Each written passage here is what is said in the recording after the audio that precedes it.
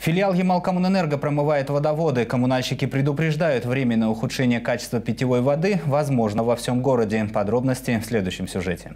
В Муравленко качество воды ухудшается один раз в год, когда коммунальщики приступают к плановой промывке сетей горячего и холодного водоснабжения от накопившихся отложений. Сегодня моются центральные магистрали от водозабора до улицы нефтяников.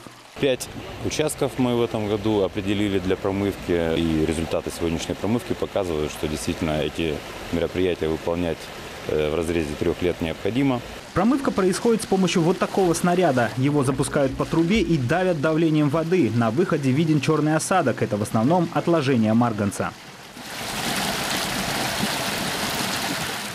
После того, как трубу прочистят снарядом, по ней прогоняют воду до тех пор, пока она не станет чистой. Но все равно какое-то количество осадка остается и попадает в квартиры потребителей. Во время промывки коммунальщики усиливают контроль за качеством воды, поступающей в квартиры. Лаборанты в разы увеличивают периодичность исследований.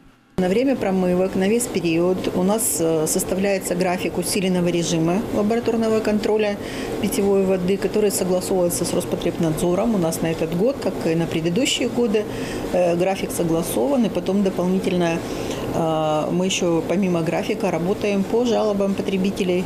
Работы по промывке завершатся в первой декаде июня, а 18 июня горожане на две недели лишатся горячей воды. За это время на центральной котельной будут проведены ремонтные работы на котловом оборудовании. Планируемые работы, которые мы выполняем, это э, ревизия, текущий ремонт запорной арматуры, вскрытие, чистка доораторов, э, обследование их, также вскрытие, чистка грязевиков – также мы планируем в, отопительный, э, в остановочный период э, произвести текущий ремонт котла-агрегата первого на втором блоке, ну и ревизию запорной арматуры и газ, газового оборудования.